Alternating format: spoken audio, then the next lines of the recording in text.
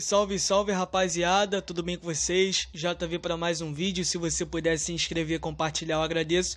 E eu espero que esse vídeo venha poder chegar ao Andrei Santos, né, volante do Vasco. Estou contando um pouco da trajetória e também sobre esse jogador que para muitos aí, sem dúvidas, é a maior promessa do Vasco, né, desse século, um cara extremamente diferente. Valeu? Então veja esse vídeo aí.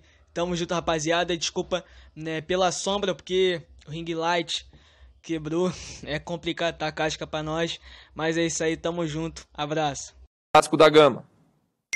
Meio campistas. Andrei. Vasco da Gama.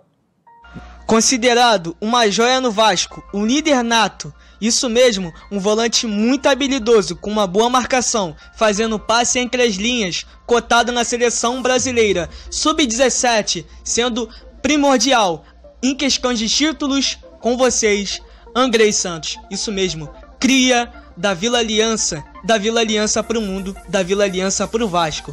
É isso aí, rapaziada. Espero que vocês gostem. Se inscreve, compartilha. Tamo junto. Vamos! Bem, nesse vídeo vocês vão conhecer de verdade sobre esse atleta do Vasco. Andrei Nascimento dos Santos, mais conhecido como Andrei Santos. Ele nasceu no dia 3 de maio de 2004 tem 17 anos.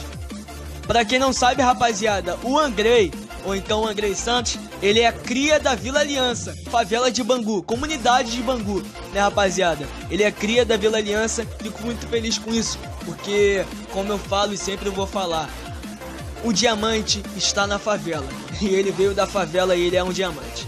O Andrei, rapaziada, joga como volante e meio campista do Vasco chegou ao Vasco em 2011. Ele chega ao Vasco em 2011, então ele tem o que? De 10 a 11 anos que ele está no Vasco. Renovou seu contrato até 2023 com uma multa de 30 milhões de euros, cerca de 191 milhões de reais.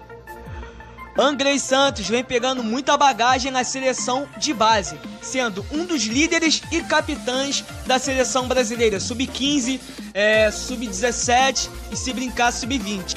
Vocês vão perguntar, João, mas pô, beleza, mas por que ele é tão importante assim? Ele é diferente porque a maioria dos gols dele é de cabeça. Tem um bom cabeceio, mas João, a maioria dos volantes é bom no cabeceio, beleza?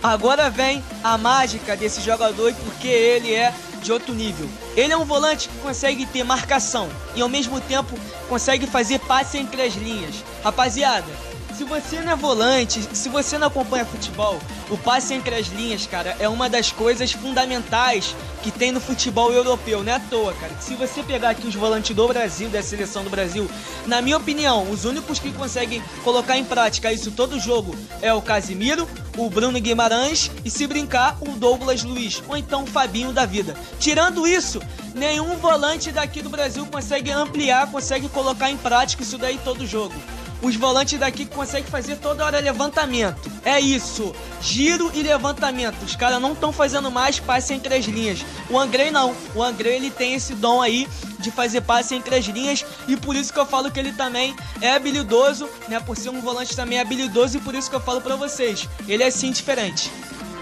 Consegue sair muito bem pro jogo mesmo sendo um primeiro volante, né, rapaziada? Ou então podemos chamar aqui de quarterback. Mas vocês vão per perguntar, João, o que é o quarterback? Rapaziada, para quem não sabe, o futebol americano tem várias posições, certo? E nessas posições, a, a, assim, a posição, posso dizer, a melhor posição, ou então a posição aí mais, é, posso dizer, valia, valiada, né? Né, a posição mais variada que tem no, nos Estados Unidos é o quarterback. E o quarterback, rapaziada, ele é o cérebro do time, certo? É ele que vai fazer a jogada. Isso, e isso lembra muito o terceiro zagueiro ou o primeiro volante, que é a mesma posição do Tony Kroos e do Andrei Santos. Então é por isso que eu falo, cara, e é por isso que eu tô dando um exemplo. Ele lembra muito sim o Tony Kroos, por ser esse, por ser esse volante bom no cabeceio, ser um jogador de força, ser um líder né? Ter um bom cabeceio, como vocês sabem aí, fazer passeio entre as linhas e, pô, o mais importante, ser um volante habilidoso. Outro ponto também é que ele tem uma boa personalidade, não só jogando, Mas falando, cara, isso daí é uma coisa que nos últimos anos vem sendo bem difícil encontrar um atleta que saiba dar uma entrevista correta, certinha. Lembra quando o Paulinho é, tava no, no, profissional do Vasco, subiu para o profissional. Quando ele deu, é, quando ele, quando ele começou a dar, rapaziada, entrevista, assim, os comentaristas pirou, falou: Que isso, cara? Pô, tu tem o quê? 17, 18 anos com essa personalidade de 25, 30 anos. Ele falou: É, cara, tenho isso aí, essa personalidade, graças a Deus. Um pouco dos títulos de Andrei Santos. Ele tem a Copa do Brasil Sub-20, Supercopa do Brasil Sub-20, vice-campeão brasileiro Sub-17 e posso dizer, né, o título mais importante dele, campeão sul-americano Sub-15. Isso mesmo da seleção brasileira. Rapaziada, então esse daí é o vídeo para vocês um pouco sobre o Andrei Santos, a nova promessa do Vasco, se brincar aí, o novo Tony Kroos, né? Tamo junto sempre, rapaziada, vamos que vamos. Espero que esse vídeo venha chegar a ele. É um moleque que, pô, cara, é sim aí uma inspiração, uma motivação, veio da comunidade, veio da favela, já, já, passou, por várias, eh, já passou por várias dificuldades e hoje aí, rapaziada, aí, ó, tá jogando no Vasco, sendo um dos líderes e sendo, posso dizer, né, um dos jogadores mais importantes, né, que o Vasco está colocando aí no meio do futebol. Então é isso aí, rapaziada. Tamo junto. Esse é o vídeo. Abraço!